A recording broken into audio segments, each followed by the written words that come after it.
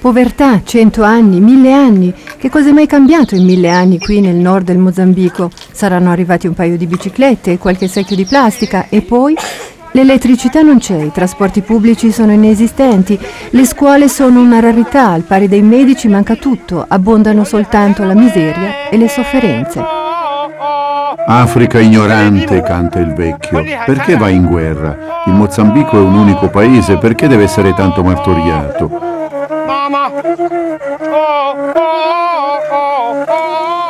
La guerra scoppia, passa e tuttavia dura, mille anni di solitudine e quando arriva qualche straniero è raro che sia un bene. Conquista, povertà, malattia, destino. Dio ha dato e Dio ha preso.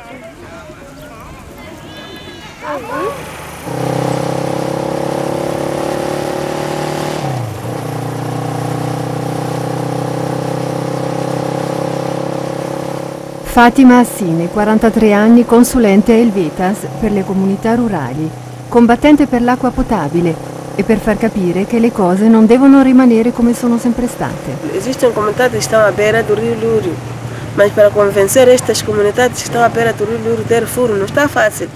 Non è sempre facile. In molti paesi vicino al fiume si sente dire che l'acqua naturale è già lì, a portata di mano.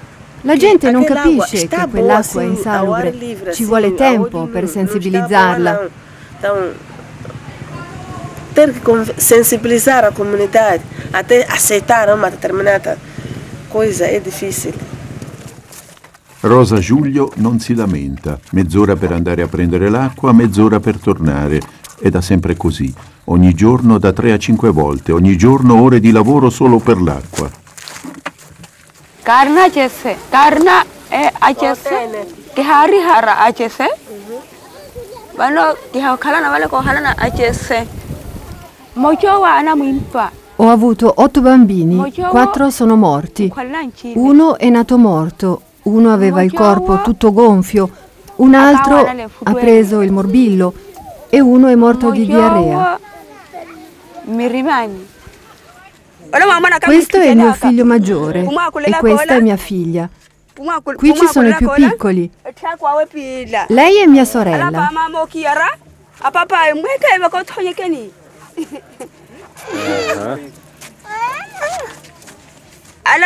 E lui è mio marito.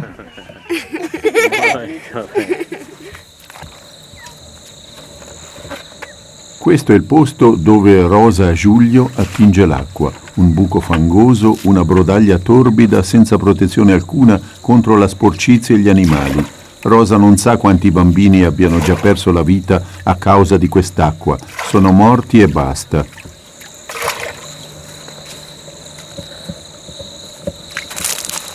È sempre stato così a Pavala, nel nord del Mozambico, ben al di sotto di uno standard minimo per noi accettabile.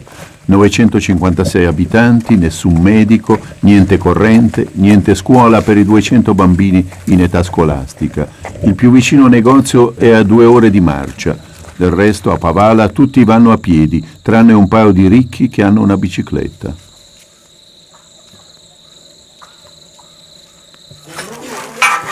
Oggi è una giornata speciale per Pavala. Fatima, la signora dell'acqua di Elvetas, è qui con una pompa nuova di zecca. Non serve ancora per pompare, ma per imparare. Ci vuole tempo, da quando il villaggio si rivolge al governo o a Elvetas chiedendo una pompa o una trivellazione, a quando l'acqua pulita scorre nelle tubazioni. In passato le organizzazioni umanitarie installavano le pompe dove pensavano ce ne fosse bisogno, Risultato, solo la metà di queste pompe è ancora funzionante. Le altre arrugginiscono perché mancano i pezzi di ricambio e nessuno è responsabile della manutenzione.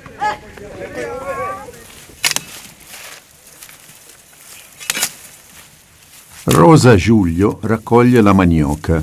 I tuberi raschiati, essiccati e macinati forniscono la farina di manioca, l'alimento principale di queste contrade.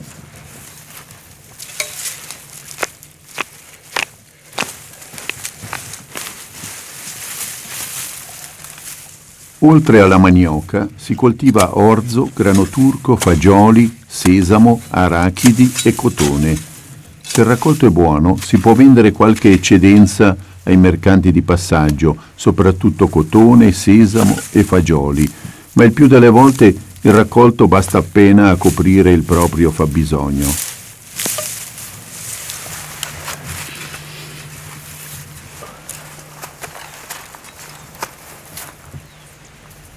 Di soldi ne circolano pochi. Il guadagno medio giornaliero in Mozambico non arriva a un dollaro e a Pavala è meno ancora. Questa povertà penalizza gravemente anche le possibilità di formazione. La scuola elementare è gratuita, ma manca di tutto, è spesso lontana, irraggiungibile per chi non ha una bicicletta.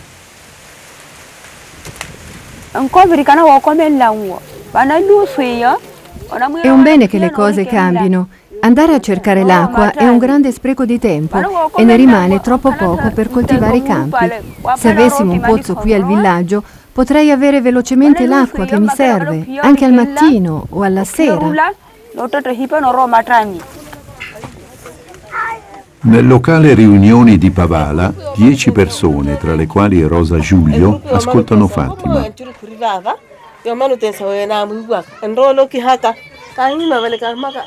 Sono i componenti della squadra che sarà responsabile della manutenzione e delle riparazioni della nuova pompa.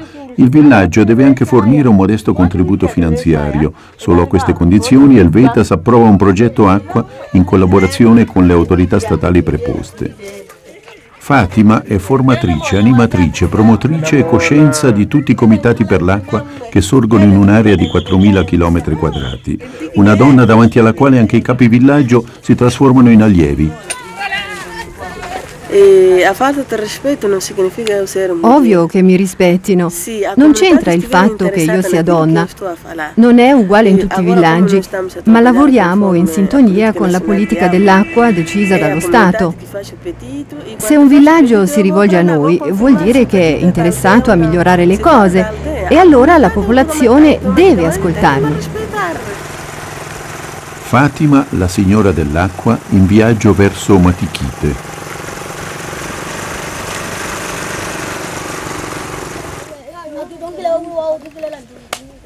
Matichite non è quel che si dice una città pulsante, ma con i suoi 5.000 abitanti è cinque volte più grande di Pavala. Qui c'è una scuola elementare frequentata da 500 allievi e c'è anche l'acqua. La vicepresidente del comitato locale per l'acqua è Filomena Sufo, 38 anni, quattro figli tutti sani, come sottolinea la mamma.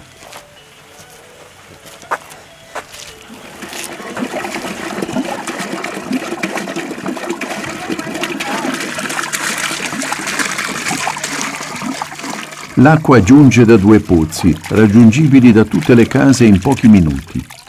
Matichite ha seguito la stessa trafila di Pavala, formazione di un comitato di sviluppo, richiesta a Elvetas, creazione di un comitato per l'acqua, per la manutenzione, istruzione. I primi passi sono stati compiuti un paio di anni fa e ora si raccolgono i frutti di quell'impegno. È buona? Sì. Sì. Avevamo acqua anche prima, ma non c'era nessuna protezione. La bevevamo perché non potevamo farne a meno. Che cosa è giusto e che cosa è sbagliato su questi disegni? domanda Fatima al comitato igiene. Di sbagliato c'è naturalmente il fatto che facciate i bisogni dove capita, magari vicino al pozzo, invece che nella latrina. C'è il pericolo che i germi vadano a finire nell'acqua e da lì in bocca. Se succede vi ammalate, chiaro?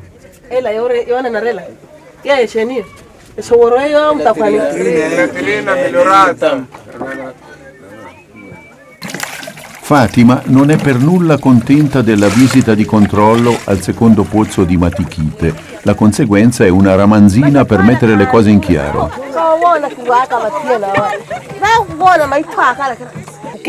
Ecco, non potete fare il bucato sullo spiazzo in cemento perché il fondo si sporca e si rompe. Dovete costruire un lavatoio. In altri villaggi la gente l'ha ricevuto. Sì, ma potete anche costruirvelo da soli. Lì dietro avete tutte le pietre che vi servono. Datevi da fare. Lo spiazzo attorno al pozzo deve rimanere pulito e non presentare crepe.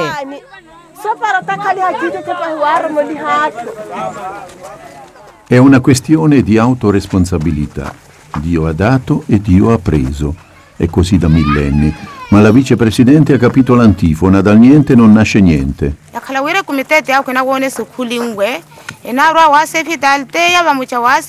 Il Comitato per l'acqua deve fare in modo che la pompa funzioni e che tutto sia pulito. Se qualcosa si rompe, occorre trovarne la causa e tocca al villaggio procurarsi pezzi di ricambio. Quello dei pezzi di ricambio è un problema tosto. Il territorio da coprire è immenso, la richiesta minima. Chi ha mai voglia di accollarsi l'onere di tenere un magazzino rifornitissimo e di conseguenza costoso? Nella cittadina di Chiure una signora di buona volontà tiene un paio di articoli in deposito. Un po' di liquido per la pulizia delle tubazioni in PVC, un po' di colla, qualche pezzo in metallo e un desolante vuoto negli scaffali.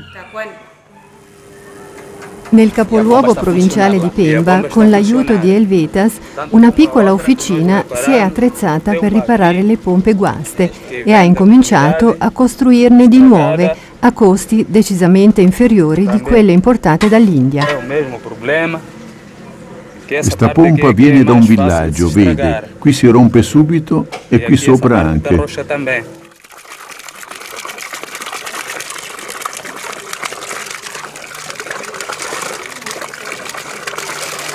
É, Quanto a parte metálica, Con le parti in metallo non incontriamo grandi problemi perché questo materiale si può comprare anche qui. Con quelle di plastica invece le cose si complicano in quanto dobbiamo importarle. A parte plástica, sim. Fatima Assine, la signora dell'acqua di Helvetas.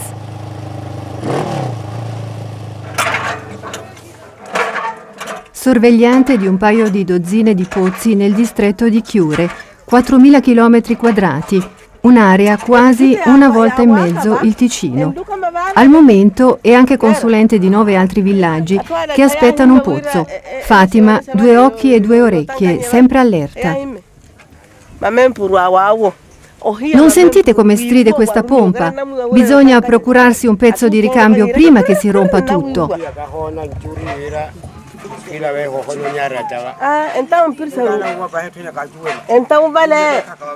È un pezzo che non costa molto, potete acquistarlo senza difficoltà. Qui invece non va bene che l'acqua si disperda e che le bestie possano entrarci.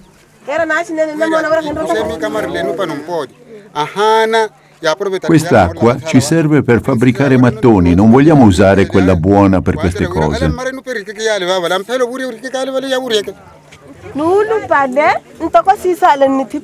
Avete ragione a voler risparmiare l'acqua, ma allora dovete scavare un bacino e coprirlo, come fate con una latrina.